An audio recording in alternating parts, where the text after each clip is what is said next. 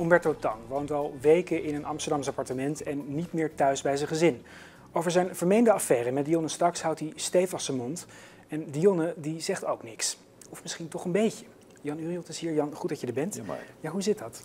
deze week geeft ze een eh, groot interview in het blad Flair. En dat gaat voornamelijk over de liefde. En dan denk je, nou, nu een uitgelezen kans natuurlijk om het juist daar even over te hebben. Kan, ja. Nou, eh, ik denk dat er zomaar eens de afspraak is geweest met de journalist dat daar geen vragen over gesteld mogen worden. Wel wordt gevraagd van eh, wat vind je ervan dat je vaak in de bladen staat de laatste tijd. En dan zegt ze het volgende.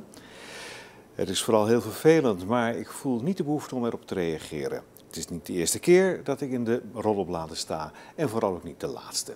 Ik vind het zonde van mijn tijd en energie daarin te stoppen. Schouders ophalen en weer door.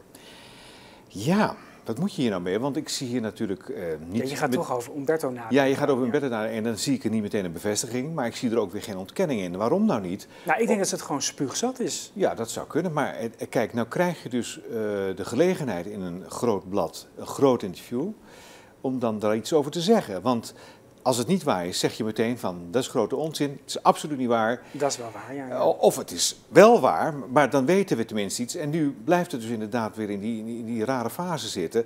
Ik had meteen er even een punt van gemaakt. Van dames en heren van Nederland, het is niet waar of het is wel waar.